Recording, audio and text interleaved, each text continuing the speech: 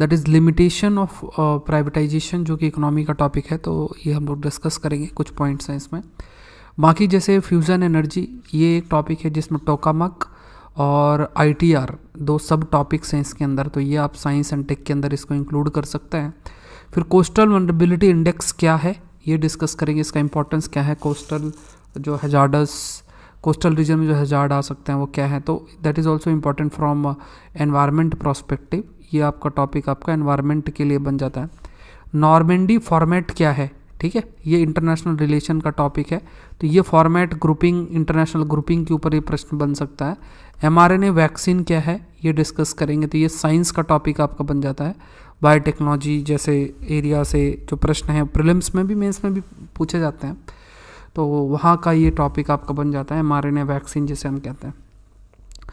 Question देख लेते हैं। आज का जो क्वेश्चन है प्रिलिम्स का कोल गैसिफिकेशन पे है। So coal gasification is a process in which coal is partially oxidised with air oxygen steam और carbon dioxide to form a fuel gas from environmental prospective the C O two emission from syn gas production are much lower than the conventional natural gas China has the biggest number of coal gasification project in the world due to the support of the Chinese government through its ninth and twelfth five year plan तो यहाँ पे you have to tell the correct ठीक है तो ये आप अपना answer comment section में दे सकते हैं। आखिर में वी विल डिस्कस मतलब I will show you the answer आप देख सकते हैं इसका क्या आंसर होगा।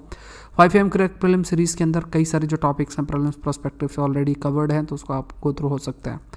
So this session is presented by me my name is Saurabh Pandey और अभी आपके पास मौका है प्लस कॉम्बो या प्लस जीएस मतलब अन अकेडमी से जुड़ने का। कोड याद रखना है that is S P L I V E अभी मेरे द्वारा भी करंट अफेयर्स का जो कोर्स है प्रिलिम्स 2022 के लिए स्टार्ट हो रहा है। अप्रैल सेवन्थ, अप्रैल से एक बजे आपकी क्लास होगी। तो बहुत ही ग्रेट अपॉर्चुनिटी है। इसके अलावा इंडिया के टॉप एजुकेटर से अलग अलग जो सब्जेक्ट्स आपको पढ़ने पड़ते हैं, सारे सब्जेक्ट सारे एजुकेटर्स के कोर्सेस आप एक्सेस कर सकते हैं।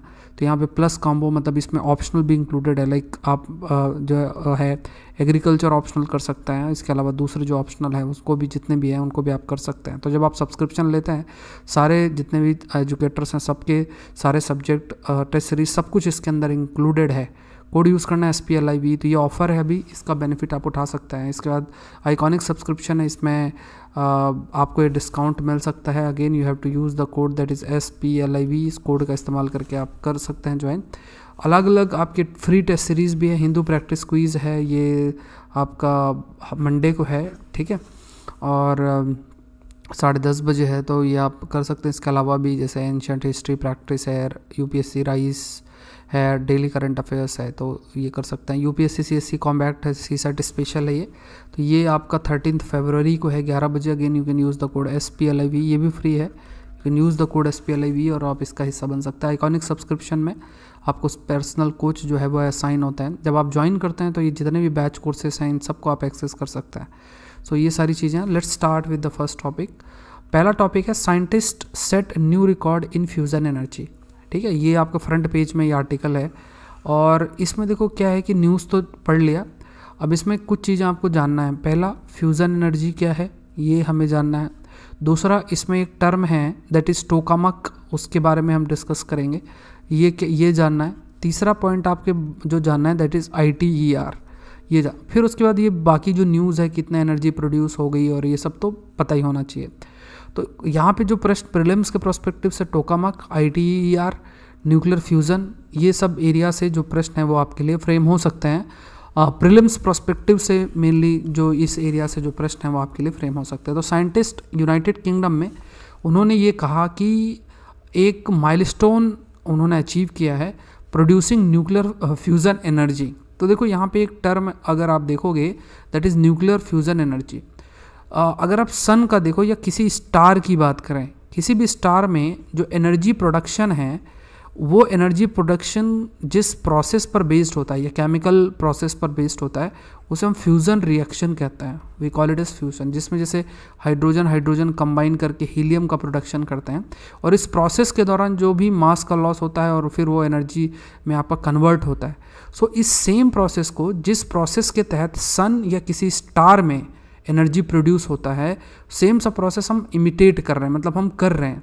और उसके लिए कुछ स्पेसिफिक स्पेसिफिक हमने एक प्रोजेक्ट भी रन कर रहे हैं जिसे आई कहते हैं और एक, एक स्पेसिफिक एक एक रिएक्टर भी यूज़ करते हैं जिसे टोकामक कहते हैं आगे डिस्कस करेंगे। सो न्यूक्लियर फ्यूज़न एनर्जी पर फोकस इसलिए क्योंकि एक ऐसा सोर्स ऑफ़ एनर्जी बन सकता है कि हमारे लिए जो एनर्जी डिमांड है फ्यूचर में ह्यूमन काइंड की बात करें तो जैसे फॉसिल फ्यूल है, वो ख़त्म हो जाएगा। आगे चल के बहुत सारी चीज़ें रिन्यूएबल एनर्जी के कंटेक्स्ट में देखा जाए तो जो न्यूक्लियर फ्यूज़न है, वो भी एक अल्टरनेटिव के रूप में देखा जा सकता है। इन एडिशन टू जो भी न्यूक्लियर इन एडिशन टू जो भी आपके रिन्यूएबल एनर्जी है। तो ये लो कार्बन है, इतना कोई कार्बन एमिशन नहीं होगा। सेफ़र भी है और इसकी एफिशिएंसी भी आपकी हायर है। सो so, यहाँ पे जॉइंट यूरोपियन टॉरस फैसिलिटी ये एक जगह है जिसे हम शॉर्ट में जेईटी कहते हैं। इसे जेईटी एक्सपेरिमेंट भी कहा जा सकता है। अगर कभी पूछा तो ये भी ध्यान में रखना है। और यह जे साइट भी कहा जा सकता है। यह ऑक्सफोर्ड के पास है और इसमें लगभग इतनी एनर्जी इसने प्रोड्यूस किया है एक एक्सपेरिमेंट जो कि दिसंबर के अंदर आपका हुआ था। तो इसमें कहा गया कि आज तक इतनी एनर्जी प्रोड्यूस नहीं की गई है। बाय यूजिंग न्यूक्लियर फ्यूज़न जो भी एनर्जी इतनी प्रोड्यूस नहीं की गई है। By using this nuclear fusion reaction इसको यूज़ करके, जो कि एक बहुत बड़ा अचीवमेंट है। अब अगर देखा जाए, जैसे जो फ्यूज़न फ्यूल है, जो फ्यूज़न फ्यूल है, जो न्यूक्लियर फ्यूज़न रिएक्शन के लिए इस्तेमाल किया जाता है, अगर उसमें देखा जाए, जो एनर्जी प्रोड्यूस होगी, एक किलोग्राम फ्यूज़न फ्यूल से, वो लगभग टेन मिलियन टाइम्स है, जो कि एनर्जी प्रोड्यूस होगी कोल ऑयल और गैस से। सो कोल ऑयल और गैस से जो एनर्जी प्रोड्यूस होगी वो बहुत ही कम है मतलब टेन मिलियन टाइम्स तो बहुत ज़्यादा होता है। तो एक किलोग्राम जो न्यूक्लियर जो फ्यू फ्यूज़न फ्यूल है, वो लगभग it will produce ten million ten million times as much energy as kilogram of coal oil और गैस एनर्जी जो प्रोड्यूस की जाएगी एक मशीन के अंदर जिसका नाम टोकामक है। आगे डिस्कस करेंगे, ये एक, इसका शेप होता है। तो JET साइट लार्जेस्ट ऑपरेशनल है one of its kind in the world जहाँ पे ये टोकामक ऑपरेशनल है। टोकामक तो यहाँ पे टोकामक बेसिकली आप ये मानो कि एक ऐसा रिएक्टर सा है, जहाँ पे जिसमें ये जो न्यूक्लियर फ्यूज़न रिएक्शन है वो किया जाता है और फिर जो एनर्जी है वो प्रोड्यूस की जाती है। सो ये ध्यान में रखना है। अब दूसरा ये भी है कि ड्यूटेरियम और ट्राइटियम ये जो आइसोटोप्स हैं हाइड्रोजन के उनको इस्तेमाल किया जाता है।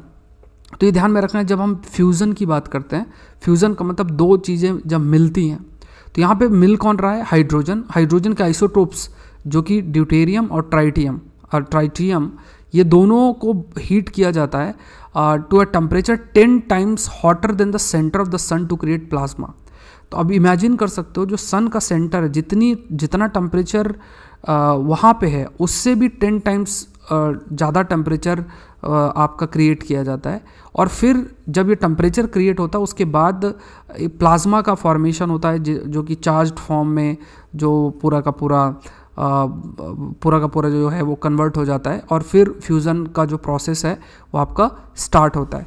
सो so, यहाँ पे क्या है कि प्लाज्मा के अंदर चार्ज आयंस आपके प्रेजेंट हो जाते हैं। सो so, ये this is held in place using superconductor electromagnets as it spin around fuses and releases tremendous energy as heat तो इसमें जो इतनी हीट प्रोड्यूस करने के लिए सुपर कंडक्टर इलेक्ट्रोमैग्नेट्स का भी इस्तेमाल आपका आ, किया जाता है। तो जैसे जो भी डेवलपमेंट है जो भी डेवलपमेंट जे में हुआ या जे टी एक्सपेरिमेंट या जे साइट के अंदर हुआ है जिसमें we can say nuclear fusion reaction में ये सक्सेस मिली है तो ये जो ITR प्रोजेक्ट है इसके लिए भी काफ़ी हेल्पफुल रहेगा। तो ये एक मेजर बूस्ट मिलेगा ITR project I T project क्या आगे डिस्कस करेंगे। सो so, आई क्या है? ये फ्यूज़न रिसर्च मेगा प्रोजेक्ट है जिसमें सात मेजर देश हैं जो इसको सपोर्ट भी कर रहे हैं जिसमें चाइना है यूरोपियन यूनियन है इंडिया भी है जापान भी है साउथ कोरिया भी है रशिया भी है और यूएसए है। और ये साउथ ऑफ़ फ्रांस में लोकेटेड है। जो एरिया है जहाँ पे ये आई प्रोजेक्ट आपका रन किया जा रहा है और कैसे हम फ्यूज़न एनर्जी को फ्यूचर के अंदर यूज़ करते हैं, कर सकते हैं अपने एनर्जी की नीड और डिमांड को मीट करने के लिए। तो वो इस प्रोजेक्ट का एक तरीके से एम भी है। टोकामक की बात किया जाए तो जैसे ये देखो, ये इस टाइप का रिएक्टर होता है जहाँ पे जो जे साइट के अंदर लोकेटेड भी है और इसी में जो जो एक्सपेरिमेंट है वो आपका परफॉर्म किया गया न्यूक्लियर फ्यूज़न वाला जो एक्सपेरिमेंट है दैट हैज़ बीन परफॉर्म्ड अब देखो टोकामक एक पावरफुल डिवाइस है पावरफुल मैग्नेटिक फ़ील्ड है to confined plasma in the shape of torus torus के शेप में जो प्लाज्मा है उसको वो रखता है। प्लाज्मा मतलब चार जैसे आ, जब आप स्टेट ऑफ़ मैटर की बात करते हैं तो सॉलिड लिक्विड गैस एक होता है स्टेट होता है सॉलिड एक होता है लिक्विड एक होता है गैस ये बचपन से पढ़ रहे हैं। चौथा स्टेट होता है प्लाज्मा और पांचवा स्टेट होता है that is Bose Bose Einstein condensate ठीक है? बोस, आइंस्टाइन कंडेंसेट तो ये पाँच स्टेट ऑफ़ मैटर्स होते हैं, ये ध्यान में रखना है। तो यहाँ पे in addition to solid liquid gas एक स्टेट होता है प्लाज्मा जिसमें चार्ज आयंस हैं। एक होता है बोस, आइंस्टाइन कंडेंसेट तो वो फिर एक अलग टॉपिक आपका है। संडे के द हिंदू में कई बार आया भी है तो हमने उसको डिस्कस किया है। तो यहाँ पे देखो पावरफुल मैग्नेटिक फ़ील्ड और प्लाज्मा जो जनरेट होता है, वो टोरस के शेप में आपका रहता है। टो टोकामक की बात किया जाए one of the several type of magnetic confinement device जो कि एक यूज़ किया जाता है thermal thermonuclear fusion power produce करने के लिए मतलब फ्यूज़न रिएक्शन को करने के लिए। और ये एक फ्यूज़न रिएक्टर के रूप में भी जाना जाता है। 1950s में इसको कंसेप्चुलाइज्ड किया गया था एगमर टैमन और एंड्री सेखारो इनके द्वारा by inspired by letter by Oleg Lavrentiev the first working tokamak आपका ये Natan Yavlinsky on T one in 1951 ये पहली बार इसका किया गया। तो ये थोड़ा फैक्ट्स याद रख लेना। प्रिलिम्स के लिए मेंस में तो ऐसा कोई प्रश्न नहीं आएगा। फिर एक दूसरी चीज़ जो हमें पता होना चाहिए, वो thermo international thermo nuclear experimental reaction तो आईटीआर की बात किया जाए तो ये क्या है कि ये बहुत ही एम्बिशियस एनर्जी प्रोजेक्ट है कि हम किसी तरीके से अपनी जो एनर्जी है आ, मतलब एनर्जी डिमांड को मीट करने के लिए फ्यूज़न एनर्जी का भी इस्तेमाल कर सकें। क्योंकि ह्यूज अमाउंट ऑफ़ एक छोटे से अगर एक बार ये एक्सपेरिमेंट सक्सेसफुल होता है तो एक छोटा सा रिएक्टर के माध्यम से या स्मॉल क्वांटिटी ऑफ़ फ्यूल के माध्यम से हम लार्ज क्वांटिटी ऑफ़ जो एनर्जी है वो प्रोड्यूस कर सकते हैं। तो इसमें ये लोकेटेड ये प्रोजेक्ट रन कहाँ किया जा रहा है? फ्रांस में। 35 कंट्रीज़ इसका लगभग इसका हिस्सा है, जिसमें इंडिया भी है, ये भी आपको ध्यान में रखना है। और यहाँ पे ये सब साथ में आ रहा है कि वर्ल्ड का लार्जेस्ट टोकामक यहाँ पे आपका बनाया जा सके। और उसमें मेनली एनर्जी प्रोड्यूस की जाए by using nuclear fusion reaction जो कि सन और स्टार के अंदर जो सेम रिएक्शन आपका कंडक्ट किया जाता है for the production of energy तो यहाँ पे ये जो एक्सपेरिमेंटल कैंपेन है that will be carried out at I T R is crucial fusion science के लिए बहुत इंपॉर्टेंट है और अपनी हमारी फ्यूचर एनर्जी को के नीड को पूरा करने के लिए भी काफ़ी इंपॉर्टेंट है। तो first fusion device to produce net energy first I T R will be the first fusion device जिससे कि जो फ्यूज़न है for longer period of time तक आ, मतलब जो फ्यूज़न का प्रोसेस है longer period of of time तक चलता रहे और उससे जो एनर्जी है वो आपकी कंटिन्यूस बेसिस पर प्रोड्यूस होती रहे। और इसमें देखो कई सारी जो कंट्रीज़ इसका हिस्सा है चाइना भी है यू भी है इंडिया है जापान है कोरिया है रशिया है और यूएसए तो इसमें बस याद रखना इंडिया भी इसका हिस्सा है। अब इसमें देखो प्रिलिम्स का प्रश्न आ सकता है कि कौन कौन से आई मेंबर्स हैं। तो ये आपको याद करके रखना है चाइना भी है यूरोपियन यूनियन भी है इंडिया है इंडिया है ही। जापान है, कोरिया है, रशिया है, यूएसए है। बहुत सारे जो साइंटिस्ट हैं उस पर काफ़ी समय से लगे हैं और पहली बार इसको लॉन्च भी किया गया था 1985 के अंदर तो ये फैक्ट भी आपको याद रखना है। नेक्स्ट देखते हैं INCOIS carries out coastal vulnerability assessment अब ये जो टॉपिक आपका आता है, इसमें जो हमें ध्यान में रखना है, वो है कोस्टल वनरेबिलिटी इंडेक्स एनवायरनमेंट का टॉपिक बन जाता है। कोस्टल वनरेबिलिटी इंडेक्स क्या है? शॉर्ट में सीवीआई भी हम इसको कहते हैं। तो कोस्टल वनरेबिलिटी इंडेक्स क्या है? वो जानना है और इसमें इसके क्या फ़ायदे हो सकते हैं वो है थोड़ा सा डिस्कस करते हैं। तो Indian National Centre for Ocean Services INCOIS जिसे हम कहते हैं, उसने कैरी आउट किया कोस्टल वनरेबिलिटी असेसमेंट कोस्टल मतलब जैसे जो आपका कोस्टल एरिया है इंडिया की बात करें तो जैसे ये हमारा कोस्टल 7,500 किलोमीटर का कोस्टल एरिया है इधर अरेबियन सी है इधर बे ऑफ़ बंगाल है। तो जो भी चेंजेस होंगे तो पूरा का पूरा जो कोस्टल इलाका है वो काफ़ी अफेक्ट होगा। तो कितना वनरेबल है? तो ये बेसिकली कोस्टल वनरेबिलिटी इंडेक्स के तहत हम देखते हैं। तो स्टेट वाइज मान लो गुजरात है या फिर आंध्र प्रदेश आंध्र प्रदेश है तमिलनाडु केरला है महाराष्ट्र है गोवा है तो कर्नाटका है। तो कहीं भी ये जो स्टेट्स है कितने वनरेबल हैं? तो इसकी प्रॉपर मैपिंग करना उसको बहुत एक अच्छे तरीके से मैपिंग करना जिससे कि जो पॉलिसी मेकिंग मेकिंग की जाए, उसमें देखा जाए कि क्या कदम उठाए जा सकते हैं कि वनरेबिलिटी को ध्यान में रखते हुए हम आगे बढ़ें। तो ये पूरा का पूरा जो ऐसा इस तरीके से जो पूरा असेसमेंट किया जाता है तो ये जो inter Indian National Centre for Ocean Information Services है, इसने ये कोस्टल वनरेबिलिटी इंडेक्स को आपका जारी किया है और इसके तहत कई सारे जो स्टेट हैं, उनकी वनरेबिलिटी को भी इसने हाईलाइट किया है। जैसे गुजरात में 124 कोस्टल किलोमीटर अफेक्टेड है। लगभग महाराष्ट्र में 11 किलोमीटर 1.22 परसेंट कर्नाटका और गोवा में 48 किलोमीटर, केरला में 15 किलोमीटर, इसे याद नहीं करना है। ये अलग अलग स्टेट और इन सब में वनरेबिलिटी को ख़ास तौर से डिलिनेट भी किया गया है है ना, इतना एरिया में और जो वर्नेबिलिटी है उसको भी एक्सेस एसेस करने की कोशिश की गई है इस इंडेक्स के तहत। अब ये जो मैपिंग है, ये मैपिंग इंपॉर्टेंट भी बन जाती है। वर्नेबिलिटी की बात की जाए, कि फ्यूचर के अंदर जैसे सी लेवल राइज है तो सी लेवल राइज कैसे हो सकता है? उसका क्या इम्पैक्ट हो सकता है? क्या पैरामीटर्स है देखना है? इंडियन कोस्टल रीजन कैसे उससे अफेक्ट जो है वो हो सकता है? क्या क्या फैक्टर्स हैं जो कि रिस्पॉन्सिबल हो सकते हैं, जो फ्यूचर के अंदर सी लेवल राइज के पैरामीटर को डिसाइड कर सकते हैं? जो, या फिर जैसे अगर सी लेवल राइज होता है तो कौन सा एरिया अफेक्ट होगा?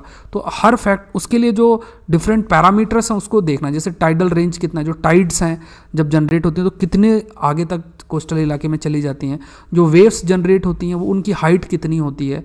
कोस्ट के स्लोप किस तरीके से है कि पानी अगर आता है तो वो कहाँ तक पहुँच सकता है स्लोप पर डिपेंड करता है। कोस्ट का एलिवेशन कितनी हाइट है, ये देखना है। उसकी पूरा मेकअप जियोमॉर्फोलॉजी कैसा है sea level change future past में हिस्टोरिकल लेवल पे किस तरीके से हुआ है तो ये सब पैरामीटर हैं। तो सी जो कोस्टल वनरेबिलिटी इंडेक्स है, उसमें ये सब पैरामीटर्स के माध्यम से ये भी जाना जा सकता है कि फ्यूचर के अंदर जो वनरेबिलिटी है सी लेवल राइस को लेके, वो कितनी हायर है डिफरेंट स्टेट्स में।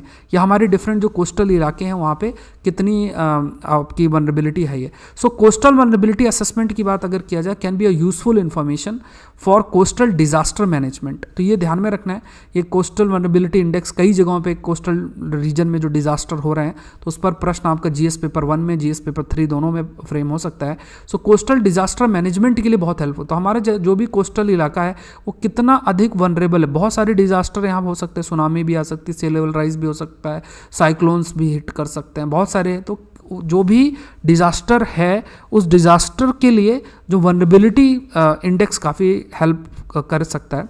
और coastal multi hazard vulnerability mapping अलग अलग जो हेजार्ड कोस्टल इलाके में जो है, आ सकते हैं। अलग अलग जो हेजार्ड इस पूरे रीजन में आ सकते हैं तो उसकी प्रॉपर मैपिंग उसके लिए डिफरेंट जो पैरामीटर्स हैं, उसको ध्यान में रखना चाहे सी लेवल चेंज रेट है शोर लाइन चेंज रेट है कोस्टल एलिवेशन कितना हो रहा है वाटर का लेवल कितना है फ्रॉम टाइड टाइड कॉस या मतलब जो टाइड जनरेट होती है, वो पानी कहाँ तक जाता है, फिर नीचे वापस कितना, कितने समय में जाता है, ये सब फैक्टर से जो coastal multi hazard vulnerability mapping उसको किया जा सकता है। कैसे डिफरेंट तरीके से जो कोस्टल इलाका है, वो अफेक्ट हो सकता है इंडिया का।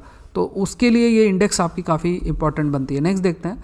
द फ्रेंच फॉर्मेट अब देखो यहाँ पे जो यूक्रेन के अंदर डेवलपमेंट हो रहा है, वो जो डेवलपमेंट हो रहा है, उसमें अभी कंडीशंस तो साफ़ साफ़ इस तरीके से कि वॉर के सिचुएशन है।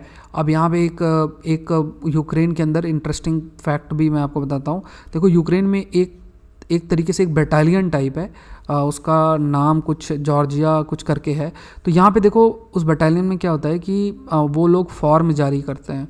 फॉर्म जारी करते हैं और उसमें ये रहता है कि अगर कोई आ, मतलब आके आर्मी का इन मतलब यूक्रेनियन आर्मी का हिस्सा बनना चाहता है तो वो बन सकता है। तो अलग अलग देशों से लगभग ये जो बटालियन है, सौ सोल्जर से स्टार्ट की गई थी और फिर उसमें सत्रह हज़ार, सत्रह से अठारह हज़ार सेवनटीन टू एटीन थाउज़ेंड लोग अभी उस बटालियन का हिस्सा हैं।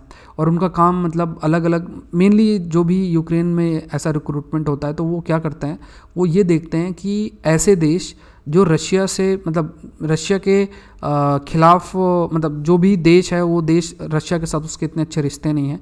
लोगों के अंदर भी थोड़ा रशिया के खिलाफ इतने पॉजिटिव सेंटिमेंट्स नहीं हैं। उन देशों के साथ, जैसे यूगोस्लाविया हो गया अल्बेनिया हो गया ऐसी ऐसी जगहों से या इवन यूएसए हो गया ऐसी ऐसी जगहों से लोग आते हैं और यहाँ पे सर्व करते हैं। एक ऐसी सेपरेट बटालियन भी क्रिएट की गई यूक्रेन के अंदर। लगभग डेढ़ लाख या कई data like one lakh twenty five thousand से लेकर डेढ़ लाख तक के सोल्जर्स इतने यूक्रेन के कोस्टल इलाके में आपके प्रेजेंट है। तो ये थर्ड वॉर स्टार्ट हो सकती है there is a possibility but अब ये होती है कि नहीं होती है? अब इसमें यूएसए ने कहा कि ऐसे आपको चिंता करने की ज़रूरत नहीं है। अगर ऐसा होगा तो अड़तालीस घंटे के अंदर हम ऐसा कर देंगे। वो सारी चीज़ें, वो मतलब अलग अलग अपना जो भी पॉइंट्स हैं, वो रख रहे हैं। लेकिन एक पॉइंट और भी आपको ध्यान में रखना है। यूएसए अगर आप इसकी हिस्ट्री को देखोगे तो चाहे वो वर्ल्ड वॉर वन हुआ हो या वर्ल्ड वॉर टू हुआ हो यूएसए की जो इकोनॉमी है, वो पूरे तरीके से एकदम हाइट में कब रीच की है? इन वर्ल्ड वॉर के दौरान। मतलब उसने अपने डोमिनेंस को कैसे सामने लेकर आए थे? पहले जैसे ब्रिटिश ब्रिटिशर्स थे ब्रिटेन और दूसरे यूरोपियन पावर, ज़्यादा पावरफुल थे। वर्ल्ड वॉर के बाद से ही यूएसए ऊपर उठ के आया। कैसे? इन्होंने उस वॉर के दौरान हथियार बहुत बेचे और उस हथियार को बेचते बेचते बेचते वो इतने देश काफ़ी अमीर हो गया। ये एक बहुत बड़ा फैक्ट है।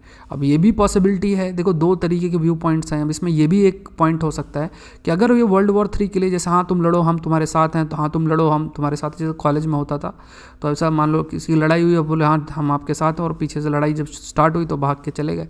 तो यहाँ पर क्या है यूएसए हाँ तुम लड़ो, हम तुम्हारे साथ हैं बट हम आगे नहीं आएँगे। ये इस तरीके से यूक्रेन को यूएसए कह रहा है। नाटो फोर्स भी ऐसा ही कह रही है। अब एक बार अगर वॉर शुरू हो जाएगी तो हम तुम्हारे साथ हैं, कैसे कहेंगे कि, लो, चलो, हम तुमको हथियार देते हैं और लो इतना डिस्काउंट ले लो। या जो भी हो मतलब हथियार अपना बेचना स्टार्ट कर देंगे। हो सकता है कि यूएसए अपने डोमिनेंस को रिगेन करने के लिए इस वॉर का सहारा ले सकती है कि अगर ये वॉर होता है तो वो अपने डोमिनेंस को मेंटेन करने के लिए अपने जितना डिफेंस की चीज़ें इक्विपमेंट्स हैं, उनको बेचेगा बहुत और फिर आगे जो है बढ़ क्योंकि ये जब वॉर होगी तो खाली यूक्रेन तक सीमित नहीं रहेगा। फिर ये एक तरीके से बहुत जगह पर आपका फैलेगा। तो बार बार अभी जैसे इवन फ्रेंच फ्रांस के जो राष्ट्रपति हैं, वो गए और रशिया से मिले। अब फिर अभी शायद आज या कल में वो यूक्रेन के जो हैं, उनके प्रेसिडेंट हैं, उनसे मिलेंगे, बात करेंगे कि आप लड़ाई मत करो। जो भी अपना पॉइंट है, वो सामने रखेंगे आज के समय में। ज़रूरी, क्योंकि अगर वॉर होता है तो ये पूरा यूरोप भी अफेक्ट होगा इससे। और रशिया भी अफेक्ट होगा, ये रीजन भी अफेक्ट होंगे। अभी डिपेंड करता है कि इस वॉर को कैसे टैकल किया जाता है। फिर अलग अलग कंट्रीज़ हैं, चाहे वो टर्की हो या अपने अपने इंटरेस्ट के अकॉर्डिंग सब अपना अपना जो भी इंटरेस्ट है, कहीं पे छोटा मोटा रीजन है, उसको ऑक्यूपाई करना है तो ऑक्यूपाई करना स्टार्ट कर देंगे। बहुत सारे जो international order that will be affected अब इसी कंटेक्स्ट में बहुत सारे पॉइंट्स हमने ऑलरेडी डिस्कस किए हैं। यहाँ पे एक टर्म यूज़ होता है, जिसे हम कहते हैं नॉर्मेंडी फॉर्मेट ठीक है? There is this term called as Normandy format what basically is a Normandy format ये जानना ज़रूरी है। सो नॉर्मेंडी फॉर्मेट की अगर बात करोगे तो इसमें कंट्रीज़ uh, कौन कौन सी हैं? प्रिलिम्स के लिए इंपॉर्टेंट है। जर्मनी है रशिया है यूक्रेन है और फ्रांस है। ये चार कंट्रीज़ इस नॉर्मेंडी फॉर्मेट का है। और ये डी डे सेलिब्रेशन 2014 में डी डे डी डे क्या होता है, आगे डिस्कस करेंगे। 2014 में D Day celebration Normandy, France में हुआ था तो वो उसमें ये लोग मिले थे। तो ये एक एक ये इस प्रकार की ग्रुपिंग क्रिएट की गई थी, जिसे नॉर्मेंडी फॉर्मेट टॉक्स भी कहते हैं। तो ये 2014 के टाइम पे स्टार्ट हुआ था, और अभी भी ये कंट्रीज़ आपस में ये साथ में आते हैं, बात करते हैं। तो इसमें अगर आप देखोगे नॉर्मेंडी फॉर्मेट में सबसे इंपॉर्टेंट क्यों ये बहुत मैटर करता है, क्योंकि इसमें रशिया भी है और यूक्रेन भी है। इन दोनों के बीच की लड़ाई है। और साथ में फ्रांस भी और जर्मनी भी है। तो अभी फ्रांस रशिया के पास गया, फिर फ्रांस यूक्रेन के पास जाए। जर्मनी भी इन दोनों की लड़ाई को थोड़ा सा कम करने की कोशिश करेगा। Germany basically Nord Stream two pipeline Russia से जर्मनी की तरफ़ जा रही हैं और वो यूक्रेन को बाईपास करके जाएँगी। तो जब बाईपास करके जाएँगे, क्योंकि यूक्रेन से जो नॉर्थ स्ट्रीम बन जा रही थी तो उसमें उसको डर था कि कभी युद्ध होता है कुछ होता है तो फिर व्हाट विल हैपन कि ये हमारी जो पाइपलाइन से गैस जा रही है, वो नहीं जा पाएगी। उनका बिज़नेस का नुकसान होगा। तो नॉर्थ स्ट्रीम टू को बाल्टिक सी से होते हुए फिर यूक्रेन तक लेकर जर्मनी तक लेकर जाया जाएगा। और इससे यूएसए को ये लगता है कि ये जितना भी ये कर रहे हैं तो इससे जो व्हाट विल हैपन कि जो नेचुरल गैस है, जो नेचुरल गैस है उस पर निर्भर, रशिया के नेचुरल गैस पर यूरोप बहुत निर्भर कर जाएगा। और इससे जो बार्गेनिंग पावर है रशिया की वो तो इंक्रीज़ होगी ही, रशिया का जो इन्फ्लुएंस है यूरोप में वो भी बढ़ेगा। ये एक पॉइंट आपका रखा गया। तो यहाँ पे नॉर्मेंडी फॉर्मेट आपका 2014 के अंदर आया था, जब seventeen anniversary of D Day celebrate आपका किया गया था। सो so यहाँ पे देखो क्या आता था डी डे के अंदर क्या है कि एक ऑपरेशन नेपचून जिसे डी डे भी कहा जाता है तो यहाँ पे जैसे नॉर्मेंडिंग लैंडिंग और where the landing operations and associated airborne operation on Tuesday six June 1944 जहाँ पे allied invasion of Normandy in operation Overlord तो वर्ल्ड वॉर के समय यहाँ पे कोई ऑपरेशन आपका कैरी आउट किया गया था और आ, ये जो ऑपरेशन बिगिन किया गया था लिब्रेशन ऑफ़ फ्रांस से और फिर इसके बाद जो इसकी वजह से जो अलाइड विक्ट्री है ऑन द वेस्टर्न फ्रंट वो देखने को मतलब उसकी शुरुआत हुई थी। कि जो फोर्सेस एलाइड पावर्स हैं उनकी विक्ट्री की शुरुआत हुई थी तो इसलिए ये जो दिन है 1944 का सिक्स जून इसको डी डे के रूप में सेलिब्रेट किया जाता है। और इसी नॉर्मेंडी जगह है फ्रां, फ्रांस में तो इसी में ये चारों देश आए तो नॉर्मेंडी फॉर्मेट इसको कहा जाता है। तो अभी इस फॉर्मेट को रिजुविनेट करने की बात की जाती है क्योंकि इस फॉर्मेट के अंदर ही रशिया भी हिस्सा है यूक्रेन भी हिस्सा है और साथ में जर्मनी और फ्रांस भी है। तो ये चार देश आपको याद रखना प्रिलिम्स के कंटेक्स्ट में इंपॉर्टेंट बन जाता है। सो so, कई बार इसको एक्सपैंड भी किया गया जिसमें बेलारूस इटली और यूके को भी इंक्लूड आपका आ, किया आ, गया है। आ, ये भी आपको जो है ध्यान में रखना। नेक्स्ट देखते हैं। It's time to take a relook at privatisation अब इसमें देखो क्या है कि जो ये ऑथर हैं इन्होंने अपने बहुत से व्यू पॉइंट्स रखे हैं। अब कोई किसी का व्यू पॉइंट पर आप, आप कोई पॉइंट्स आंसर आप इतना नहीं लिख सकते हैं। ठीक है? तो जो व्यू पॉइंट्स अगर कोई अपने रखता है तो वहाँ पे आप उन सारी चीज़ों को आप मेंशन नहीं कर सकते। हाँ लेकिन कुछ आर्गुमेंट्स हैं प्राइवेटाइजेशन के कंटेक्स्ट में जैसे आप क्रिटिकली एनालाइज और जो भी है तो उसको आप यूज़ कर सकते हो। तो वो पॉइंट्स हम लोग डिस्कस करते हैं। कई सारे जो पॉइंट्स हैं, जिसमें प्राइवेटाइजेशन की जो लिमिटेशन है, उसको हाईलाइट किया गया। तो वो पॉइंट्स हमें पता जो है, वो होना चाहिए। तो पहली चीज़ तो ये कि इंडिया का जो फ़िज़िकल डेफिसिट है, ये टॉपिक आपका रिलेटेड है इकोनॉमी से। ठीक है? इकोनॉमी का ये टॉपिक है नॉर्मेंडी फॉर्मेट का इंटरनेशनल रिलेशन से रिलेटेड है। इंडिया का जो फ़िज़िकल डेफिसिट है फ़िज़िकल डेफिसिट बहुत बार हमने डिस्कस किया है, ठीक है? फ़िज़िकल डेफिसिट मतलब आप कितना कमा रहे हो और जैसे सरकार की रेवेन्यू कितना है एक्सपेंडिचर कितना अब जब ये रेवेन्यू आपका हो when you calculate the revenue इस पर जो बोरविंग है बोरोड मनी को इंक्लूड नहीं किया जाएगा। ये ध्यान में रखना while you are calculating physical deficit तो फ़िज़िकल डेफिसिट है वो लगभग जो है वो 6.8 परसेंट की बात की गई। अब देखो फ़िज़िकल डेफिसिट को अगर मीट करना है तो बहुत से तरीके हैं। और अभी अगर देखा जाए तो लगभग 6.8 परसेंट ऑफ़ द जीडीपी या फिर 15.06 लाख करोड़ ये फैक्ट थोड़ा सा याद रखना चाहिए। अब यहाँ क्या है कि सिचुएशन बहुत है। बहुत एक जो हाईलाइट करती है कि अगर सरकार का फ़िज़िकल डेफिसिट हायर है तो ये चीज़ ये हाईलाइट करती है कि गवर्नमेंट के पास रिसोर्सेज कम है। गवर्नमेंट के पास रिसोर्सेज कम है, इसलिए गवर्नमेंट को कुछ कदम उठाने पड़ेंगे और वो एक कदम ये है कि प्राइवेट रिसोर्सेज का इस्तेमाल किया जाए। प्राइवेट रिसोर्सेज को अगर हम इस्तेमाल करना तो प्राइवेटाइजेशन एक फैक्ट बन जाता है। तो यहाँ पे जैसे एक डिसइन्वेस्टमेंट एक तरीका है। डिसइन्वेस्टमेंट क्या है? डिसइन्वेस्टमेंट यह है कि पीएसयू है, उसके जो स्टेक है गवर्नमेंट बेचती है अपना, और उसको कोशिश करती है कि वो लगभग 51 परसेंट रहे, जिससे कि ओनरशिप उसके पास रहे, और 49 परसेंट बेच दे, और 49 परसेंट बेचने से जो उसकी अर्निंग होगी, उस पैसे को अलग अलग पर्पज़ के लिए इस्तेमाल किया जाए। और इसीलिए डिसइन्वेस्टमेंट कमीशन भी आपका इस्टेब्लिश किया गया था 1996 के लिए। फिर ये डिज़ोल्व किया गया 1999 में, फिर डिपार्टमेंट ऑफ़ डिसइन्वेस्टमेंट लाया गया, फिर एक फुल फ्लेज मिनिस्ट्री के रूप में देखा गया इसको। फिर ये दोबारा से डिपार्टमेंट के रूप में 2004 के अंदर लेकर आया गया। तो यहाँ पे क्या है कि डिसइन्वेस्टमेंट भी एक तरीके से एक तरीका है प्राइवेटाइजेशन को बढ़ाने का। वी कैन से और उससे जो रिसोर्स हैं वो रिसोर्स जो प्राइवेट सेक्टर के उनको यूज़ किया जाए और प्राइवेट सेक्टर के जो स्किल्स हैं या जो भी उनके पॉजिटिव आस्पेक्ट है उसको हम इनकलकेट कर सकें। गवर्नमेंट जो इंस्टीट्यूशन या पी हैं, वो सारी चीज़ें तो इसमें भी कहा गया कि जो डिसइन्वेस्टमेंट के टारगेट्स रखे गए थे, वो टारगेट्स भी आपके इतने अचीव नहीं हुए हैं। दूसरा, जब हम प्राइवेटाइजेशन करते हैं तो दूसरा ये है कि जैसे we are talking about asset monetisation मतलब अगर जैसे ये कह दिया कि ये रोड है, ये रोड आपने कुछ समय के लिए दे दिया प्राइवेट सेक्टर को। अब उस, जब आप उस प्रोजेक्ट को, मान लो रोड का प्रोजेक्ट है, उसका वैल्यूएशन करोगे तो कैसे करोगे? वो एक वैल्यूएशन ऑफ़ द एसेट एक बड़ा फैक्टर बन जाता है। मतलब चैलेंज ऑफ़ वैल्यूएशन या वैल्यूएशन ऑफ़ एसेट एक बड़ा फैक्टर बन जाता है। क्योंकि अगर वो रोड बहुत चलती है और उसमें huge amount of toll collect होता है, आज अगर एक्स अमाउंट का टोल कलेक्ट होता है। फ्यूचर के अंदर टू एक्स या थ्री एक्स अमाउंट का टोल कलेक्ट हो जाएगा। तो आ, या फिर हो सकता है कि वो फिफ्टी एक्स के टोल कलेक्ट हो जाएगा। तो उस एसेट का वैल्यूएशन आप कैसे करोगे? तो ये एक चैलेंज बन जाता है। वैल्यूएशन अगर आप किसी चीज़ का प्राइवेटाइजेशन करते हो तो एक चैलेंज क्या है? वो है वैल्यूएशन आप किस उसकी कीमत क्या लगाते हो? प्राइवेटाइजेशन के लिए आप क्या कर रहे हो? ओनरशिप दे रहे हो? या फिर प्राइवेट जो है वही सब कुछ संभाले, ऐसा आप इंश्योर कर रहे हो? लेकिन इसको आइडेंटिफाई करने के लिए आपको क्या है? You need to put the valuation उसका वैल्यूएशन आपको डिसाइड करना पड़ेगा। वो एक चैलेंज बन जाता है। दूसरा रेवेन्यू रेजिंग हम ये कहते हैं कि ठीक है कि प्राइवेटाइजेशन है तो रेवेन्यू एक जनरेट होगा, एक ये मान लिया, मान लो एसेट मोनेटाइजेशन भी कर दिया तो उससे पैसा कुछ जनरेट होगा। बट उसका सोशल कंसिक्वेंसेस क्या होगा, वो देखना है। जैसे कई पी हैं, वो बहुत सारा जॉब जनरेट करते हैं, और प्राइवेट जो है उसमें तो वो ऑटोमेशन की तरफ़ भी जा सकते हैं। कम कम पैसे में लेके वो जो है एम्प्लॉय कर सकते हैं, ऐसा भी पॉसिबिलिटी आपकी रहती है। दूसरा कि अगर पब्लिक एसेट ज़्यादातर प्राइवेट हैंड्स पे चला जाएगा तो इसके भी कई कंसर्न आपके हो सकते हैं।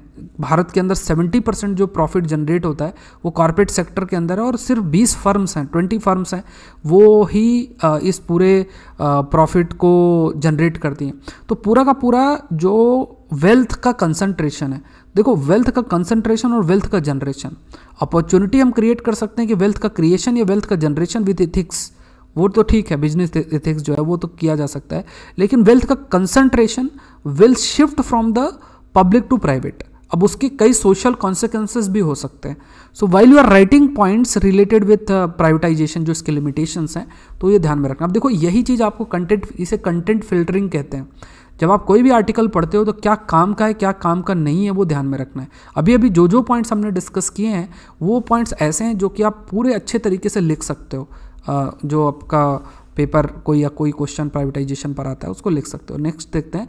India's M vaccine likely by April ठीक है? तो अब ये तो न्यूज़ हो गई कि लाइकली बाय अप्रैल फिर इसमें बता दिया इतने वॉल्टियर्स थे। अब ये पढ़ने की ज़रूरत नहीं है कि क्या होना है किस से वैक्सीन लगानी है किस एज की लगानी है कितनी एफिशिएंसी है यह हमारे काम का नहीं। हमारे काम का ये है कि बेसिकली हमें ये जानना है कि एम वैक्सीन क्या होती है। प्रिलिम्स का जो क्वेश्चन आएगा वो इसी पर बेस्ड आपका आएगा ये डेटा पर नहीं आएगा कि कितने लोगों के लिए वैक्सीन ज़रूरत है कब आएगी आ, किस तारीख से डोज लगेंगे ये सब नहीं काम आएगा। कौन सी कंपनी बनाती है दिस इज़ नॉट इंपॉर्टेंट तो रीडिंग लाइन टू लाइन जो भी लिखा है वो हमेशा इंपॉर्टेंट नहीं है। एडिटोरियल में ज़रूरी रहता है। अब देखो यहाँ पे एम आर वैक्सीन है पुणे बेस्ड एक कंपनी है जिनोवा बायो फार्मास्यूटिकल्स तो ये आपकी आ, है ठीक है? अब यहाँ पे एक टर्म आप याद रखना बायो फार्मा ठीक है? बायो फार्मा मिशन भी है। कमेंट सेक्शन में बताओ क्या होता है बायो फार्मा बायो शब्द का मतलब क्या होता है? लाइफ जिसके लाइफ है। ठीक है? जैसे क्या है? बैक्टीरिया है। ये भी एक हो गया। ऐसी कोई भी चीज़, है ना जैसे कोई भी लिविंग ऑर्गेनिज्म है, उसकी प्रॉपर्टी का इस्तेमाल करके, उसको मैनिपुलेट करके, आप मेडिसिनल इम्पॉर्टेंस के रूप में या जो उसका मेडिसिनल या थेरोपेटिक प्रॉपर्टी को आप यूज़ करते हो कई डिज़ीज़ को ख़त्म करने के लिए या जो भी डिफरेंट एरिया है, उसमें इस्तेमाल करना। ठीक है तो इसको बायोफार्मा शब्द इसके लिए इस्तेमाल करते हैं। जैसे वैक्सीन एमआरएनए बेस्ड वैक्सीन है ना? वो क्या है? जो जितनी भी वैक्सीन है बायोफार्मा के कंटेक्स्ट में आती हैं। ठीक है वैक्सीन तो इसलिए कहा जाता है भारत को, भारत एक बहुत बड़ा रोल प्ले कर सकता है बायोफार्मा सेक्टर के अंदर। ठीक है, इस एरिया में हम बहुत आगे बढ़ सकते हैं। हमारा इसके लिए रिलेटेड बायोफार्मा मिशन मेंस में भी ये प्रश्न आपका आया हुआ है, ठीक है, इसके बारे में आप रीड कर सकते हो। अब देखो एम वैक्सीन के बारे में आपको जानना है, बहुत बार डिस्कस किया है, लेकिन आपको ध्यान में रखना है, जैसे मान लो कोरोना वायरस ये है तो कोरोना वायरस के ऊपर ये प्रोटीन्स होती हैं अलग अलग प्रोटीन्स होती हैं तो एक होता है S protein N protein E protein ये तीन तरीके की प्रोटीन्स होती हैं डिफरेंट जीन्स भी प्रेजेंट इसी तो एस प्रोटीन क्या है?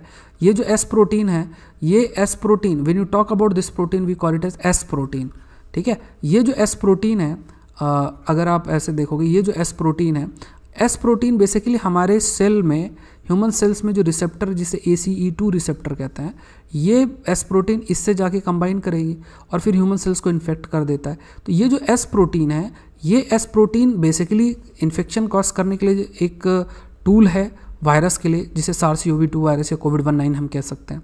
तो ये जो एस प्रोटीन है, कोई भी शरीर के अंदर जो प्रोटीन हमारे प्रोड्यूस होती है, वो प्रोड्यूस होती है बाय आरएनए उस आरएनए के माध्यम से, ठीक है? अब कौन सी वी कैन से कि कौन सी प्रोटीन प्रोड्यूस होगी, उससे रिलेटेड जो इन्फॉर्मेशन है, वो मैसेंजर आरएनए में कैरी करता है। कैरी होता है। ठीक है जैसे एम हम कहते हैं जो मैसेंजर आरएनए जिसे हम कहते हैं तो मैसेंजर आर तो मैसेंजर आरएनए में या एमआरएनए में ये जेनेटिक इन्फॉर्मेशन है कि कौन सी प्रोटीन प्रोड्यूस होगा। तो हम इसी एमआरएनए का इस्तेमाल करते हैं, इसी को वैक्सीन के अंदर यूज़ करते हैं और इसके इसके लिए फिर अगर ज़रूरत पड़ती है तो वेक्टर का भी इस्तेमाल करते हैं और वेक्टर के अंदर जैसे एडिनो वायरस का इस्तेमाल हम कर सकते हैं, जिस, है ना तो कोई वेक्टर करता है, कोई वेक्टर का इस्तेमाल नहीं करता है। वेक्टर बेसिकली जैसे इस बार भी प्रिलिम्स में प्रश्न था, वो इसीलिए प्रश्न था क्योंकि बहुत से रिसर्च आई थी और वैक्सीन को लेके और वेक्टर को लेके, इसलिए वो प्रश्न आपका पूछा गया था। तो देखो एमआरएनए को एमआरएनए को वैक्सीन के रूप, वैक्सीन में इंट्रोड्यूस किया और उसके लिए फिर हम वेक्टर का इस्तेमाल कर सकते हैं। और यही एम आर सेम प्रोटीन हमारे शरीर में प्रोड्यूस करेगा। ये प्रोटीन हमारे अंदर क्या करेगा? एंटीजन के रूप में होगा। एंटीजन का मतलब कोई फॉरेन पार्टिकल और इसके अपोजिट फिर आपका जो हमारे शरीर में एंटीबॉडीज है दैट विल बी प्रोड्यूस्ड ठीक है? स्पेसिफिक टू द एंटीजन ठीक है? तो ये आपको देखना है। So M R N A vaccine benefit people who get vaccinated by giving them protection against diseases like COVID one nine तो ये तो ये एम आर ये जो वैक्सीन है, जो M R N A based है, यही आपकी M R N A vaccine we call them as M R N A vaccine हम इनको M R N A vaccine कहते हैं। अगर आप सेशन लाइव देख रहे हो तो लाइक बटन आप ज़रूर से जो है प्रेस कर सकते हैं। और एक लाइव देखने की हैबिट आप बना सकते हैं, आप डिसाइड कर सकते हैं। फाइव एम सीरीज़ ऑलरेडी जो है, वो अपलोडेड है। क्वेश्चन देख लो। क्वेश्चन स्टार्टिंग में मैंने आपके लिए रीड किया था। तो आप इसको रीड कर लो और इसका आंसर आप ये भी देख सकते हो तो यहाँ पे आ, आ, ये जो सेकेंड स्टेटमेंट है from environment prospective C O two emission from syngas production और मच लोअर लोअर नहीं होगा much higher than the conventional natural gas तो ये पूरा सोल्यूशन इसका है तो इसको आप चाहो तो रीड कर सकते हो ठीक है? तो ये this is related with coal gasification एक क्वेश्चन है। बाकी सात आठ टॉपिक हम लोग डेली बेसिस में डिस्कस करते हैं फाइव एम सीरीज़ के अंदर भी तो उसको आप गो थ्रू हो सकते हैं। एक है ना, पूरा जो गो थ्रू हो सकता है, उसमें प्रिलिम्स आस्पेक्ट के जो डिफरेंट सोर्सेस हैं, वहाँ से रहते हैं। और अगर आप इस साल भी प्रिपेयर कर रहे हो तो कोशिश करना है कि ये इस साल के लिए भी तो ये न्यूज़पेपर नहीं छूटना चाहिए, क्योंकि ये काफ़ी टॉपिक्स आपके कवर होते हैं और जो कि प्रिलिम्स के लिए भी इंपॉर्टेंट बन जाते हैं। जैसे आज टोकमाक न्यूक्लियर फ्यूज़न आई आपका जो एमआरएनए वैक्सीन ये सब कुछ है तो ये प्रिलिम्स में भी प्रश्न आपके लिए इनमें फ्रेम हो सकते हैं। और प्लस इतना जो टाइम गैप है उस टाइम गैप में आपको पूरी तरीके से आ, मतलब इसको आप फिर बाद में प्रिलिम्स के बाद कवर नहीं कर सकते हैं। और बहुत सारे प्रश्न इन एडिटोरियल्स और न्यूज़पेपर से मेंस के अंदर भी आपको देखने को मिलता है। सो आज के लिए इतना ही। इसका जो पीडीएफ है that way I will share जो ग्रुप है ग्रुप का लिंक आपको डिस्क्रिप्शन बॉक्स में मिल जाएगा। सो आज के लिए इतना ही। Thank you everyone thank you